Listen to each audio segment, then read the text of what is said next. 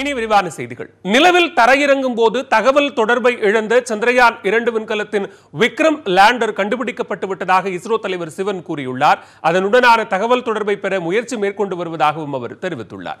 நிலவின் தென்துருவத்தை ஆராய்வதற்காக சந்திரயான் டூ விண்கலம் கடந்த ஜூலை இருபத்தி இரண்டில் விண்ணுக்கு செலுத்தப்பட்டது. செப்டம்பர் இரண்டில் ஆர்பிட்டலிலிருந்து லேண்டர் பிரிந்த நிலையில் அதனை நிலவில் தரையிறக்கும் முயற்சிகளை இஸ்ரோ நேற்று அதிகாலை மேற்கொண்டது.